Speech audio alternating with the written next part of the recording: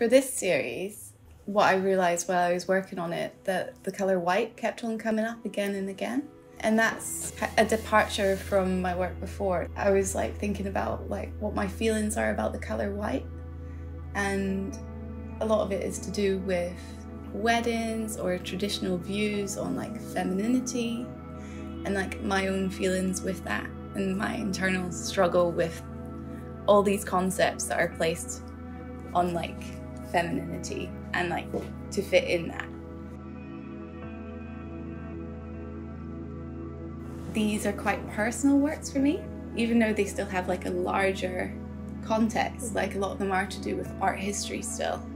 One of my favorite artists is like Titian, and it's always been, and just the way that he like paints flesh and like the contortions and like the like serpentine shapes and everything. So that's definitely been an influence. Going through the painting almost like in a tactile way, it's like seeing and feeling it fully. And you know that also translates to the like the characters in my work as well.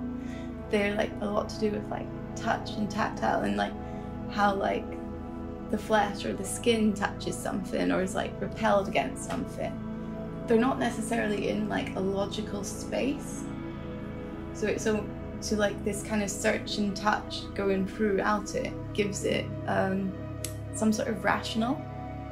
In a lot of ways, the kind of decadent objects or like clothing, it is a little bit like closer to like drag or like um, an idea of a feminine object